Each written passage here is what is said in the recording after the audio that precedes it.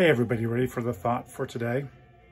This one comes from my Mr. Rogers day-by-day -day calendar. Can you see that? I won't hold up there long because some people just listen. What it says is children pick up very quickly on how we are feeling at times that are difficult for them to the point that our feelings become part of their feelings. But you know, it's not just true with children. The fact that our feelings, your feelings, my feelings affect those around us.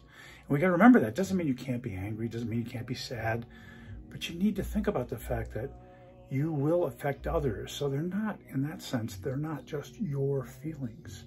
The thought for today, your feelings affect others. Your feelings affect others. I love you. I'll see you again tomorrow.